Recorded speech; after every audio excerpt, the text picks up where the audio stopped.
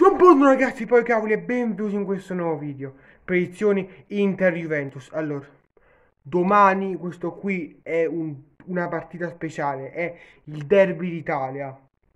Io l'Inter non la posso proprio vedere È, è la squadra, probabilmente una delle squadre in Serie A che odio di più L'Inter, uno dei nostri rivali peggiori Sono andato pure alla partita dell'Inter contro il Tottenham e perdetto 1-0 Quindi un po' di godura c'è stata. Però domani speriamo di vincere ovviamente perché, do, perché, è fondamentale vincere domani se vogliamo avvicinarci a, a, al decimo scudetto basta vincere domani e, e, non prendere gol qui e lì come contro il Genoa che se stai vincendo non puoi uh, rilassarti. Se la partita non sta finendo tipo al novantesimo ti puoi rilassare se stai tipo 3-4-0 almeno ne pigli uno.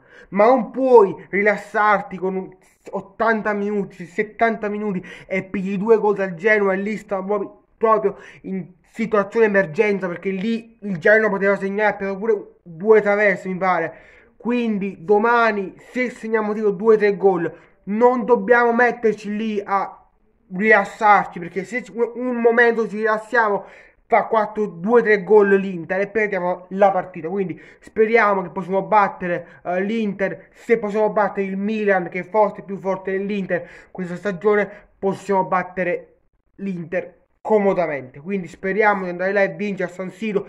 Lo abbiamo già fatto la settimana scorsa battendo il Milan. Quindi possiamo comodamente battere l'Inter e vincere due partite su due a San Siro e poi ripetere allo Juventus Stadium, giochiamo in casa, ma domani è fondamentale vincere, speriamo di non fare queste figuracce, andiamo là, diciamo che vinciamo e poi ci, ci fanno malissimo 3-0, 4-0, dobbiamo vincere e basta, comunque io penso che finisca 2-1 Juve, penso che segni Ronaldo, eh, Lukaku e... Um, di Bala, come si qua giù nei commenti le vostre predizioni, anzi no, Di Bala è fuori, quindi penso che sia Ronaldo, uh, Lukaku e uh, Chiellini, come si lega giù nei commenti le vostre predizioni, uh, senza di league sarà dura, quindi speriamo di non fare errori in difesa che ci portano a perdere la partita oppure a prendere gol, difendiamo e andiamo là a segnare e vinciamo questa partita, comunque il video è qui, qui, avuto portaci sempre, cerchiamo di vincere questa partita perché è fondamentale vincere questa partita